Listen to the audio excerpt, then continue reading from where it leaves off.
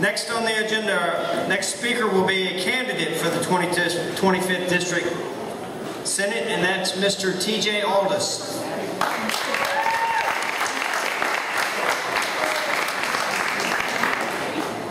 Good morning. It's great to be here today. Happy Labor Day to everyone. I want to say how proud I am of this Commonwealth, how proud I am of the individuals who make up this Commonwealth. We are a wonderful people, the people of Virginia. It's wonderful to be here with so many smiling faces.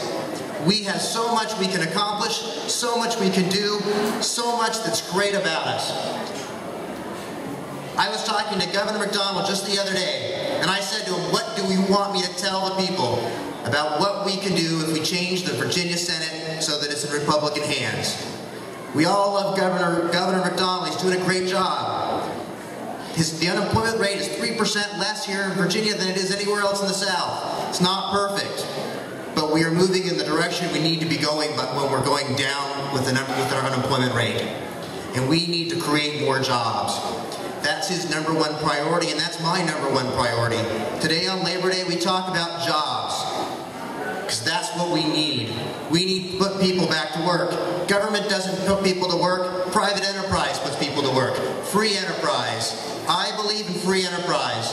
I believe in the, in, in the people of this Commonwealth, that we have the ability and the talents to make our Commonwealth the best. We're already rated number one by most in terms of business. We need to keep that up. Businesses create jobs. Second thing he said to me is he said, we need government reform. We need to reform government, make it more uh, fiscally responsible.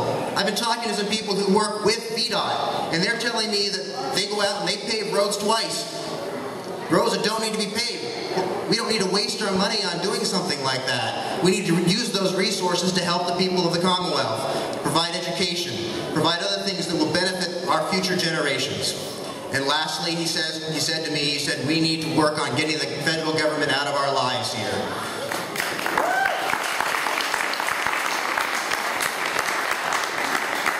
We can do it. We can do it on our own.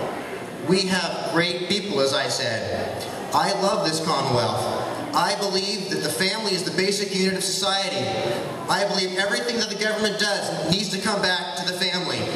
The family is the most important thing. If our family, whether it consists of just us or many people, we can't be overtaxed, we can't be overregulated, we need the freedom to move forward and to, and to be the best we can. I want to say thank you to those who organized this today. I want to say thank you to all of you for being here, for, for getting involved, because this is what makes our country great. I've never run for office before. I'm doing this because I'm tired of sitting on the couch complaining. I'm tired of being the one to sit there and say, I can't do it, I can't make the changes? I want to make those changes. I talk to people all over this 25th district. They're all telling me they're ready for a change. They're ready for something new. I don't want to create jobs all through the Commonwealth. I want to bring jobs to the 25th district. That's what we need. We need jobs in Alleghany County, we need jobs in Rockbridge, we need jobs in Bath County and Highland County. We need them in Nelson and Albemarle. That's what we need. We need someone who will go and talk to the governor, the governor's office, and bring jobs here. The governor's office is telling me that they aren't hearing from our current representative. He's not bringing jobs to this area, and that's what we need. We need someone who will advocate for us. I'm a constituent here. I believe in us. I believe that we need to make a difference. Thank you.